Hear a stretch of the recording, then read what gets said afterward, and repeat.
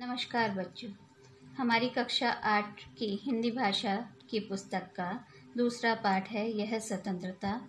सबसे पहले मैं इस कहानी का सारांश आपको बता देती हूँ। सारांश इस प्रकार है। पाठक चक्रवर्ती अपने मोहल्ले के लड़कों का नेता था। सभी उसकी आज्ञा मानते थे। जो नहीं मानता तो उसको सब मिलकर मारते। एक दिन उसे एक नया खेल सूझा कि नदी के किनारे पड़े लकड़ी के लट्ठे को लुढ़काएँ और उसका मालिक जब उन पर क्रोध करे तो वह हंसकर उनका मज़ाक उड़ाएँ। जब खेल शुरू होने वाला था तो कुछ उस, उसका छोटा भाई मक्खन उस पर आकर बैठ गया। पाठक के कहने पर लड़कों ने उसे गिरा दिया। वह रोता हुआ अपनी माँ के पास चला गया। माँ ने पाठक को बुलाकर उस पर क्रोध किया तो उसने भाई के साथ माँ को भी धक्का दिया। ठीक उसी समय माँ का भाई भी विशंभर बरसों बाद अपनी बहन से मिलने आया।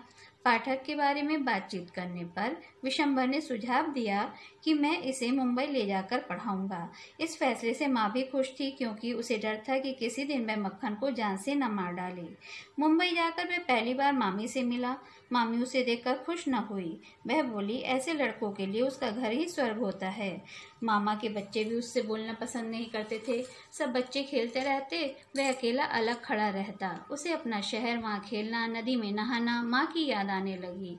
उसकी सारी शक्ति समाप्त हो गई। स्कूल में पाठ न याद होने के कारण अध्यापक से पिटाई लगती, किताब खो जाने पर मामी से डांट पड़ती।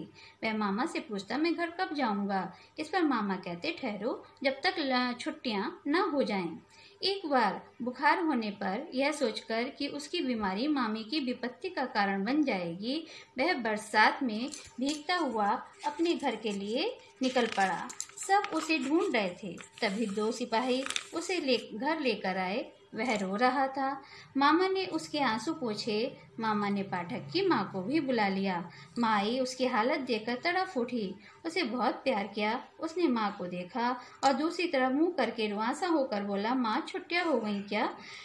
बच्चों, इस कहानी से हमें शिक्षा मिलती है कि हमारा व्यवहार सबके साथ अच्छा हो तथा अपनी बुद्धि और मन को पढ़ाई लिखाई व अच्छे कार्यों में लगाएँ, जिससे हमें सभी का प्रेम मिले।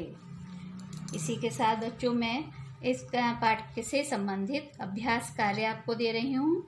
वह आपको सभी अपनी कॉपी में करना है। बच्चों, इस पाठ से संबंधित अभ्यास कार्य आपको होमवर्क में दे रही हूँ, जो आपको अपनी हिंदी भाषा की कॉपी में करना है।